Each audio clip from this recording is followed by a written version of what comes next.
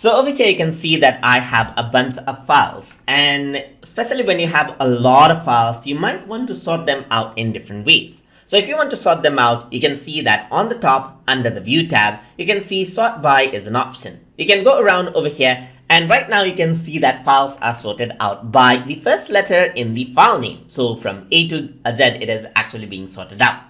You can go around sort it out in an ascending order or descending order as you can see. You can also go around over here and sort it by date modified so that the uh, latest file that you edited comes at the top right here. You can sort it out by file type right here so that separate file types are sorted out together or you can go around file, sort it out by size of the file over here as well as you can see right here. You can sort it out by date created so that the uh, uh, earlier date created files uh, come at the top or the bottom depending on what you selected right here. You can sort it out according to author, according to tags that you might have in the file or the title of the file that is um, the main file, the title inside of the file itself. You can also choose around column right here which you want to display. For example, right now there's date modified type and size.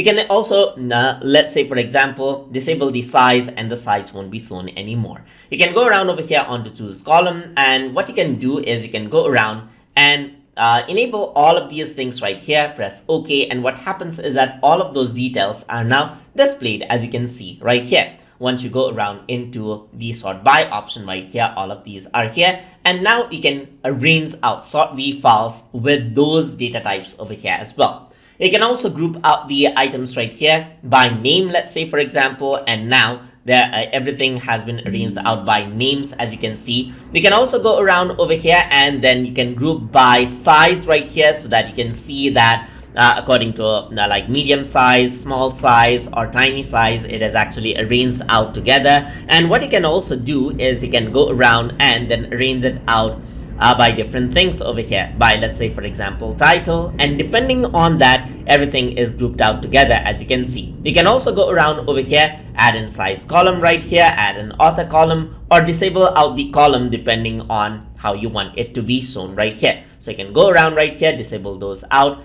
and you can go around on to choose column and add in more columns over here as well. So you can size all columns to fit as well so that every data is shown out uh, well and that is how you can basically sort out the data in the way you want inside a file explorer inside of Microsoft Windows 11. So if you guys learned something as always, and as always, please like, comment, share, and subscribe.